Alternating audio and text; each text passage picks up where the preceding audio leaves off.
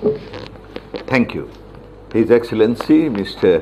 Pham Binh Minh, Honorable Deputy Prime Minister and Minister of Foreign Affairs of the Socialist Republic of Vietnam and Chair of ASEAN Regional Forum, Honorable Foreign Ministers, Excellencies, distinguished colleagues, ladies and gentlemen. At the outset, let me convey my heartfelt thanks and gratitude to Chairman, his entire team, and the government of the Socialist Republic of Vietnam for organizing this meeting amid these trying times. Excellencies, year 2020 marks the birth centenary of the father of the nation of Bangladesh, Bangabandhu Sheikh Mujibur Rahman, the greatest Bengali of all times. We have planned many events of significant socio-cultural and development importance for observing this year. However, due to global pandemic, our Prime Minister decided to hold the events virtually, maintaining proper health-related guidance. It is a difficult year for all of us, but the entire humanity has come under the same umbrella in the fight against an invisible enemy called COVID 19 that defies frontiers. The wave of COVID 19 has also affected Bangladesh like all other countries of the world.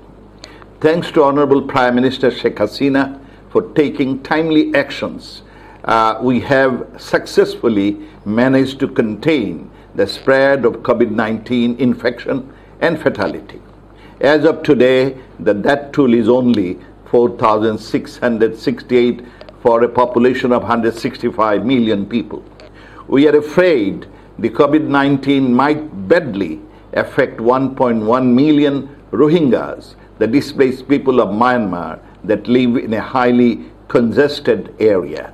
Fortunately, minimal got affected due to multiple targeted approaches. Uh, distinguished colleagues, despite the threat to our economy, ecology, and overall social, social impact, Bangladesh gave shelter on a humanitarian ground uh, nearly 1.1 million persecuted people fleeing massacre in Myanmar, their homeland. Bangladesh is keen on solving the crisis through constructive diplomacy with good neighborly spirit. Myanmar is our friendly country, and therefore Bangladesh signed three instruments with Myanmar for repatriation. Myanmar agreed to take them back after verification.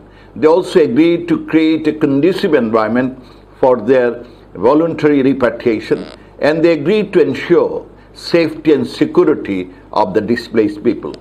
But unfortunately, till today, none went back. And instead of creating a conducive environment, fighting and shelling is ongoing in the Rakhine state.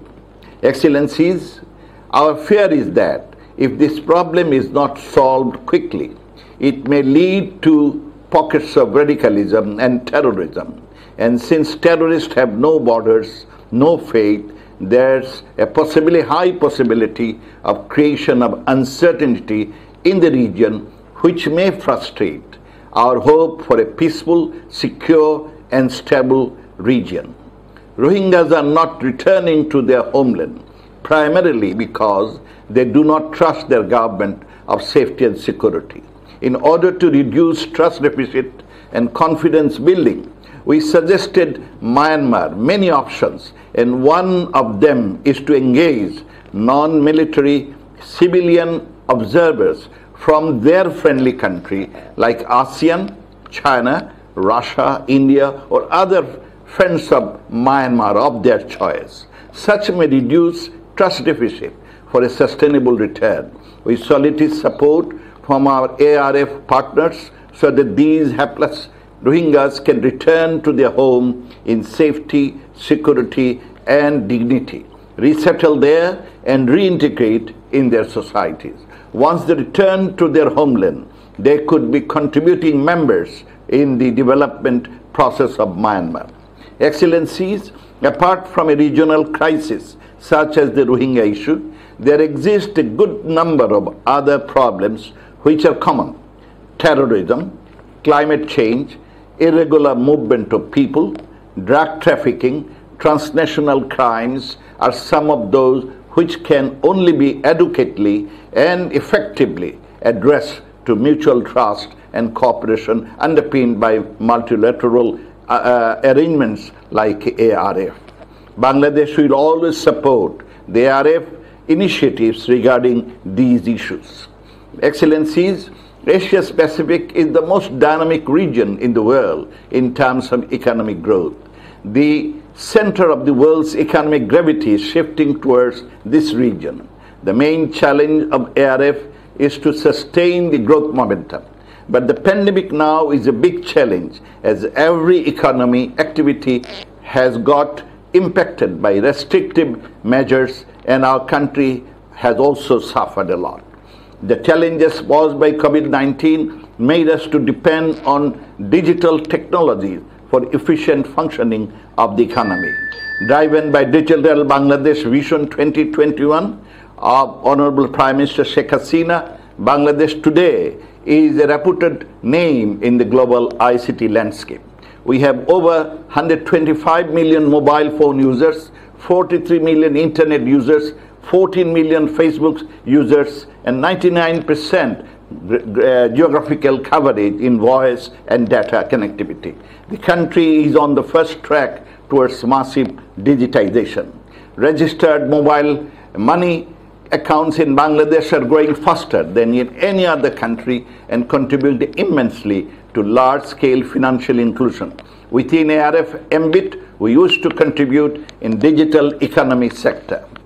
Uh, before conclusion, distinguished colleagues, COVID-19 showed us that accumulation of stockpiles of weapons uh, cannot save human lives. Rather, investment in medical and social areas can protect us from this COVID. COVID pandemic created fear and it locked down us for weeks. May I draw your attention uh, that once vaccine is developed, it must be available to all without discrimination.